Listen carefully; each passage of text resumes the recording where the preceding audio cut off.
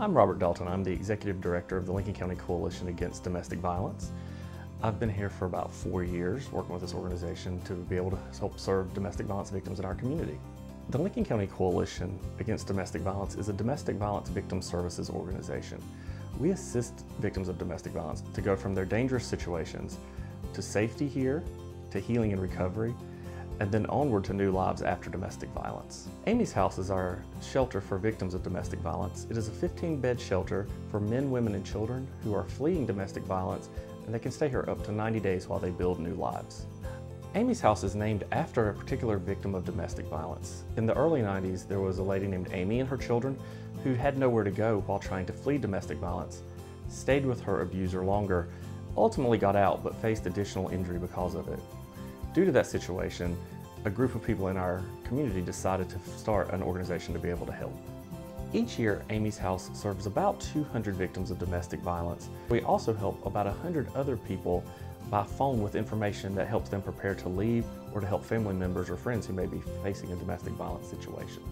Men, women, and children facing domestic violence reach us each year through referrals from various agencies, but most call our crisis line, which is manned 24 hours a day, where a trained advocate helps them assess their situation and figure out how to safely get to us to receive services. When a domestic violence victim enters our shelter, we assist them immediately with food, clothes, and other basic necessities.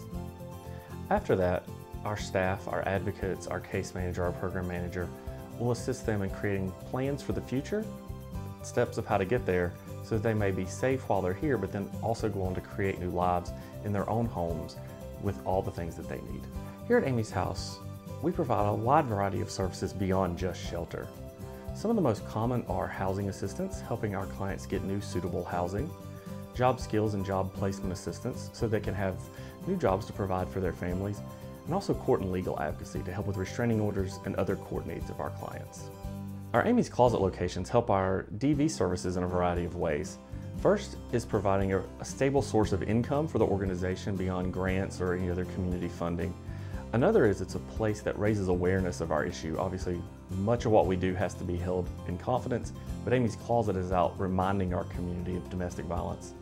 And third, it's a place that our clients can go shop for clothes and other household goods when they need those items after they come in. As much as we like our current shelter, we recognize that we really need a new facility, one with more space, one with more bedrooms so that we may serve more clients each year. Due to the gracious donation an, from an anonymous donor, we have a plot of land that we may use for a new shelter. We've also been able to collect a small amount of donations thus far to be able to build a new shelter. We hope to do so with the goal of having more common space, a larger kitchen, and also just to have a more comfortable environment for us to serve our shelter clients. Our next step is to begin a capital campaign. The purpose of that is to fundraise money to build a new shelter that will allow us to have more space for clients to have fun, but also to study, to do quiet contemplative work, and to also receive services that they use to start new lives. We envision this new shelter to be more comfortable and to just be a better environment for our DV victims to heal and begin new lives.